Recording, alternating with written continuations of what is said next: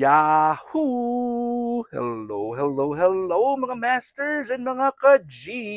Good morning, good morning, good morning, good morning, good morning po sa inyong lahat dyan sa Pilipinas sa buong Asian countries. And saan ka mang lupalop na ating mundo ay good morning, good noon, good afternoon at good evening, good night sa mga matutulog na. At kung uh, may time ka po pa kayo at meron pa kayong mga uh, bakanteng oras dyan, uh, hingin ko muna ng inyong 15 minutes para sa ating All About G, the Green Girlie, Cutie Patuti, Iguana Daily Vlogs, Saturday edition, at Sabado ngayon, pa weekend, at sa mga walang gagawin dyan, it's time to rest. Dahil po tayo po ay magpapahinga. Siyempre, walang trabaho sa mga walang trabaho. Ako po may trabaho pa. And Sabado, uh, Linggo at saka ano lang, Sunday and Monday lang po yung aking uh, day off. Day off namin ng daddy ko sa clinic namin. Pero wala pa rin akong day off. Patay tayo dyan dahil po, dahil po kahit na, day, kahit na wala kaming work, ako po ay naglilinis, ako ay naglalaba, ako ay uh, gumagawa ng mga errands, yung ano man yung mga kailangan namin gawin, ako yung uh, gumagawa ng lahat dito. Ayan. So, uh, welcome again sa ating uh, daily episode daily premiere ng ating uh, pag-feature natin sa ating uh, magandang magandang cute na iguana na si G na noon ay akala natin ay lalaki at nangitlog pala kaya siya ay certified na girl alu. Anyways mga masters, mamaya po alas 12. Hindi ko alam ha, hindi pa ako naka ano, uh, as of recording time po hindi pa na, na nagay mang hindi pa na hindi ko pa alam kung ano yung schedule ng ating Sabado Tambayan LS for WH para sa ating mga members ng Team Coroda na hindi pa po monetized. At uh, syempre yan po ay naka naka-format talaga. Uh, ginawa po yan para po sa ating mga members na para matulungan po sila natin na matapos yung kanilang WH hindi naman po yan ang uh, um, tawag dito, pinakamabilis na paraan para ma-monetize kasi pero alam niyo naman merong mabilis pero uh, ito yung nagre-require ng pera dahil po yan ay kailangan mong bayaran yung mga WH, mga ganun, di ba? Eh, mga ganun. Alam niyo naman yan, di ba? Pero siyempre ito yung pinaka-safest at pinaka-most effective na hindi po malalagas ni Lolo. Kasi po ito ay legit na organic ang mga nanonood, mga masters and mga ka-G. Kaya po tayo ay magtutulong-tulungan para po natin itawid at ma uh, pa-monetize din po natin yung ating mga members ng Team Coroda na hindi pa po monetized. Anyways, bukas po ay may premiere promotion na naman tayo. Siyempre, um, ngayon po hindi ko pa alam kung sino yung mga host naman po ay ang ating one, one ah, yun pa rin, pa rin. Meron na pala tayong host, pasensya na. Siyempre si Madam Grace natin, Madam Grace Vlog, 1 to 3 p.m. And then 4 to 6 ang ating Yams OFW Vlogs. And 7 to 9 ang um, aking Beshi Merle Estani Vlog. So, yun po ang ating schedule para sa Sunday Premier Promotion ng ating 168 Team Coroda Premier Promotion. So, yun. At uh, yan naman po ang premier promotion natin ay tuwing uh, Martes, Webes at Linggo. Yan lang po yung ating premier promotion and ang ating uh, Sabado Tambayan is siyempre Sabado yan. O di ba? So yan ang ating mga programa sa Team Coroda para po tayo uh, magsuportahan. So I hope na kayo po uh, kahit hindi po kayo uh, members, yung iba dyan na hindi members, yung iba dyan ay um, mga close friends na po, makakonsider na po kayo natin na close friends and circle of friends ng Team Coroda at syempre uh, yung team niyo po ay uh, uh, binibisitahan na rin po ng mga members ng Team Coroda dahil kayo po ay uh, parang bahagi na rin kayo ng ating team. So ako po ay uh, isa sa mga admin ng Team Coroda at uh, uh, yung ating layunin po ay siyempre pa ano lang natin uh, palakasin natin yung mga members natin at ating programa promotion po tayo kasi uh, kailangan nating magtulungan dahil hindi po kaya ng isang tao lang na uh, ma- na, ma- na maging successful ang kanyang sariling channel.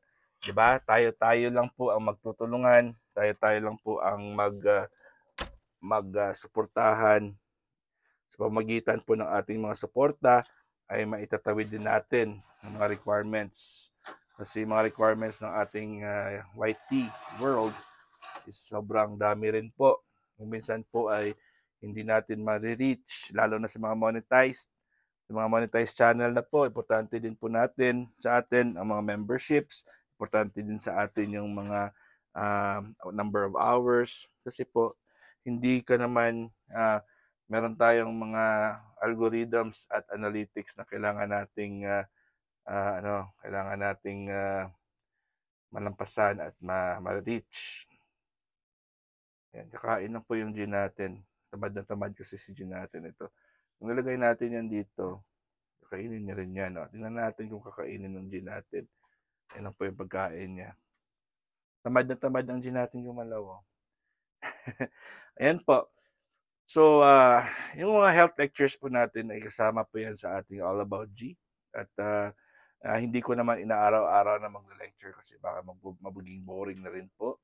At uh, yung aking lectures po ay pinapaikot-ikot. Uh, uh, inuulit-ulit ko lang talaga. Marami po akong pwedeng i-lecture mga masters and mga ka-G. Kaso lang, uh, iba-iba naman yung ating mga ano mga pumupunta dito, nagbibisita. Kaya po ako ay uh, um, kung minsan po ay nag uh, inuulit ko, kung minsan po ay bago, pero malamang po ay pare-pareho pa rin yung aking lecture. Kasi remind ko rin kayo sa inyo ba dyan, sa mga regular natin na mga classmates dito, tatanungin ko ilang percentage ba dito ang ano, ang sumusunod talaga. O di ba? Pag wala, eh di ba kailangan kong ulit-ulitin, di ba? So, yun naman talaga yung matutulong ko sa inyo na ma-emphasize ko po ang value, yung importante, importansya po ng ating mga health lectures yung aking lecture kasi basic lang po yan. Ayaw ko pong uh, maging malalim pa ang ating pag-uusapan. Pag-discuss ako dyan ng mga medical terms tapos hindi nyo lang maiintindihan. So, ibibigay ko lang sa inyo, spoon feed ko lang po sa inyo, susubo ko na sa inyo yung regular schedule na pwede nyong gawin. Yun na lang po yung pinakamagandang gawin. O, di ba? So, pinaulit-ulit ko talaga. Inuulit-ulit ko naman talaga ito dahil uh, essential po ito sa katawan natin. So, so hindi ko pala natapos yung lecture last time. So, tatlo po yung ano, tatlo po yung uh, essential na mga kailangan ng katawan natin, 'di ba? Na-discuss natin yung oxygen, na-discuss natin yung nutrition. So, yung part ng nutrition natin is pinapaulit-ulit ko talaga 'yan na wag uminom ng liquids habang kumakain. At least bibigyan niyo po ng 1 hour interval. So, halimbawa, iinom po kayo 'di ba? Isang baso. Tapos yan, hihintay po talaga kayo ng isang oras and then kumain po tayo. Uh, yung pagkain natin, na-discuss ko rin po last time, na kailangan 50% fruits and vegetables, 50% uh, grains and proteins. Pero 30-20 po yan. Mas marami ang vegetables kaysa sa fruits. And then mas marami po yung dark green grains, dark grains. Mga dark grains po, hindi po kasama dyan yung ang, ang tinapay na puti ha. Kailangan yung mga dark, mga whole wheat, mga ano. Pero yung white rice is okay, pero mas okay pag brown rice or red rice or black rice. Mas okay pa yung the darker the better. Pero pag ano, kasi Asians naman po tayo, yung white rice okay na po yan. Okay na po yan. And then sa proteins, hindi naman tayo pwedeng mag-stick lang po sa um, sa uh, red meat Maraming kasi ng mga proteins. Pwede mga beans, seeds, di ba? Mga beans. Ang seeds, protein din po yan. Eggs. So, ang poultry, chicken, rabbit, pwede yan. Turkey. And then, pwede tayong ano, isda. Siyempre, seafoods is also a good source of protein. Pero, ang protein po ay hindi dapat marami. 20% lang po ang protein. 30% pa rin po yung grains. So, sa grains po, importante ay um, yung mga healthy grains kasi source pa rin po yun yung carbohydrates pero yung carbohydrates na yan good source po yan uh, pag darker ay hindi po sila uh, madaling ma-convert into starch hindi siya po ay maka uh, ano yan uh, complex carbohydrates po yan na matagal pa siyang ma- ma-digest kaya po siya ay uh, makakapag, uh, ano, may maraming benefits po dyan. Hindi siya dali matunaw. And then, uh, syempre, good source of fiber po yan. And uh, it's also good for the heart and digestion. And of course, energy po kasi yung uh, grains ay good source of energy po yan. And then, ayun po mga masters and mga ka-G. Importante po dyan ay kailangan nguyain natin yung pagkain natin. Iwasan po nating magmadali talaga sa pagkain. Yun ang pinaka-importante. Kasi, alam niyo po mga masters, mga ka-G, meron po tayong 32 sets of teeth. 32 po yung ating ngipin sa adult, mga adults. 32 po yan. Okay? So, uh, gugas lang ako ng kamay ko. so, ang 32 sets of teeth, pinaka-importante, ay nguyain din natin yung ating pagkain 32 times or more.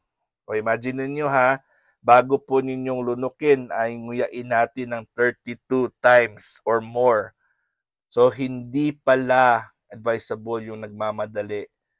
ba? Ano pa ang pinaka-importante diyan? Ito tandaan niyo po mga masters at mga ka-G. Ang pag-umpisa po, mag-initiate po ng ating digestive system para gumalaw po ang ating uh, bituka, gumalaw po yung ating intestines at mag-produce po ng gastric juices ang ating stomach.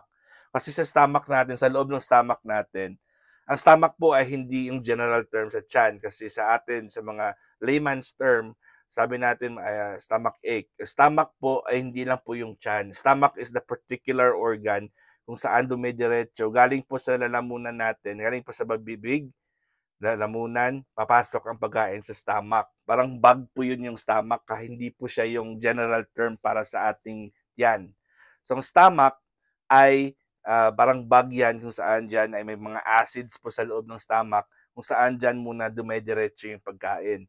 So may mga acids na yan is tinatawag natin gastric juices, mga gastric enzymes at stomach uh, Siyempre, kailangan acidic po yan. Acidic talaga dapat yung acidity, yung level ng pH ng ating stomach. Bakit? Kasi pagpasok ng pagkain dyan, kailangan tutunawin yan. Tutunawin talaga yan yung pagkain. From the enzymes, ang mga enzymes pala, yan yung mga magtutunaw ng pagkain sa loob ng tiyan natin. Ang problema po, halimbawa, nagmamadali ka, ay hindi mo ginunguya yung pagkain. Pag pumasok ng pagkain sa stomach natin, ay malalaki yung mga chunks niya, hindi po siya maliliit. Kaya pag malaki siya, mahihirapan yung mga gastric juices para i-burn, i-churn, or para tunawin yung pagkain. Ang problema pa, isang problema pa is pag umiinom ka ng tubig or inom any liquids po mga masters, kasama po yung pagkain at ang tubig pumapasok sa stomach, syempre papasok talaga yan ang ang liquid sa stomach natin.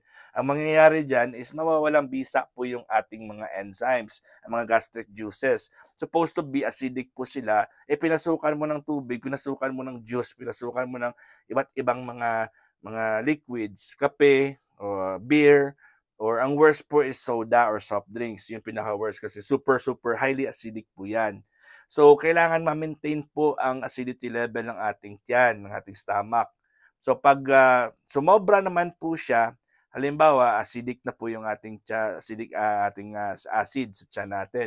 Pag pinasukan mo ng soft drink sa super acidic, magiging highly acidic po siya. So malaki po yung chance na pwede ka magka-heartburn, pwede ka magka-hyperacidity kasi sobrang sobrang acidic na eh. Pero pag dinagyan mo naman ng tubig or mga alkaline, ang mangyayari diyan ay mix yung ating acid, magle-less yung kanyang effectivity. Hindi na po siya powerful enough para i-burn niya yung pagkain. O, di ba? Yun lang po yung ating ano diyan mga masters. Yun lang po yung explanation natin. So, kailangan maghintay tayo one hour before, one hour after. And try your best na huwag uminom ng malamig. Uh, malamig na tubig dahil po, halimbawa, kumain ka ng matataba, fatty foods. Anong mangyayari sa mantika pag nalinagyan mo ng lamig? O, di ba? Siya, ay, siya uh, titigas. So, gusto niyo bang titigas yung mga mantika dyan sa loob ng tiyan mo, sa lalamunan mo, at syempre sa mga arteries and veins mo, aabot din po yan. So kaya, pag kumakain tayo, yung pinakaunang iinumin natin talaga, one hour before tayong kumain, is hot tea. One hour before, uh, pwede tayong sa umaga, yung ating apple cider vinegar with raw honey and warm water. Yun po talaga yung aking i-recommend. And one hour after, pwede ka rin uminom ulit ng ice, ng ano, ng, ng hot tea. O gusto mo, tubig na lang. Basta way one hour distance po yan. Alright, so continue ulit tayo sa ibang mga lectures natin, mga masters. Sa susunod naman nating mga premieres. Ating All About G, The Green Girl Iguana, Daily Vlogs. Maraming salamat po. Again, this is your G. This is your Master Worm. And your one and only G, ang ating magandang magandang uh, tamad ng mga kuko niya ay nawawala na. You know, wala na kuko niyo. Thank you so much. God is great. Yahoo!